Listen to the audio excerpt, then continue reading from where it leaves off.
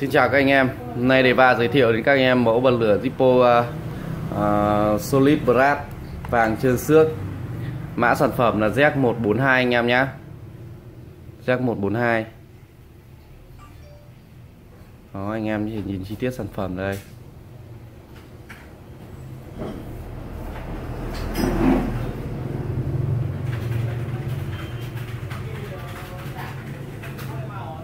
Đó tiếng rất là hay luôn.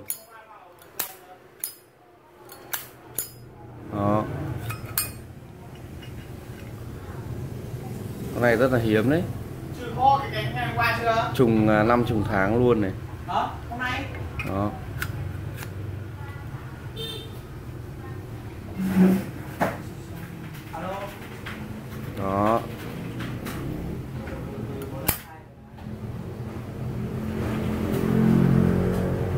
vàng chân xước solid brass z 142 anh em nhé.